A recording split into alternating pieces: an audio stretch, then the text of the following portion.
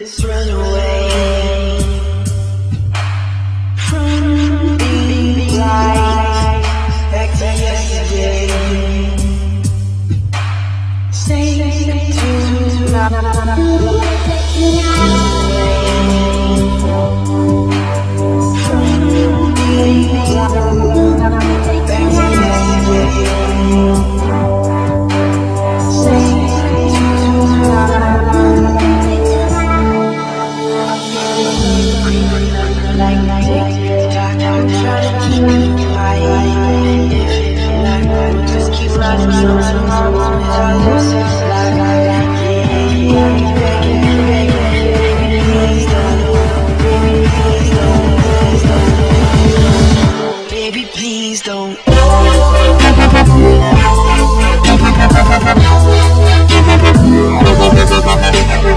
Yeah.